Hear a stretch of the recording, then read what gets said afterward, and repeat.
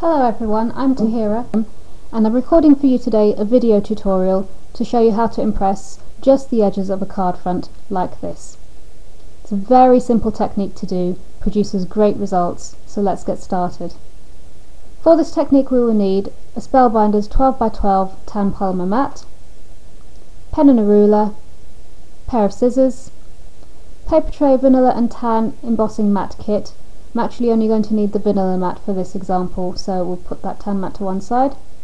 Next you'll need a piece of card that I've already cut to the same shape and size as my card front, so this is A2 5.5 by 4.25 inches. Also we'll be using my score buddy, Papertrey impression plate, I'm using the Tintypes impression plate today, and finally my die cutting machine. Now I use a big shot which means I'll also need my multi-purpose platform and cutting plates. So the first thing that we're going to do is measure and mark out a piece of our mat so that it matches the shape and size of our card. Now you can obviously adjust this technique to be any shape or size card that you want, but I'm sticking with A2 for this example. So here's one that I've already started to measure and mark out, and you can see that I've already started cutting it out as well. So basically I've drawn on this with my pen ruler, and I will use my pair of scissors to cut out the shape.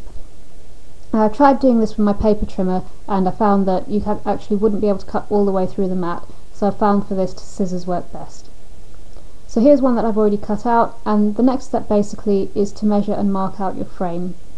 Now in the example that I showed you at the beginning I had quite a thin frame, it was only half an inch wide so I'm going to do a slightly wider frame for this tutorial, this is three quarters of an inch that I've measured and marked around with my pen and ruler. So you can see here that you can just about make out the lines that I've uh, drawn out and the next step is to basically cut that out with a pair of scissors and once you've done that, which I've already done, you'll be left with something like this and this is what we're actually going to use for our technique. So the rest of this tutorial is basically pretty simple. We're just going to set up our sandwich and emboss our card front. So we'll start with our multi-purpose platform and this is down to tab 1 and next comes our first cutting plate Papertrey impression plate comes next. Then our piece of card. And next comes the frame that you've just prepared.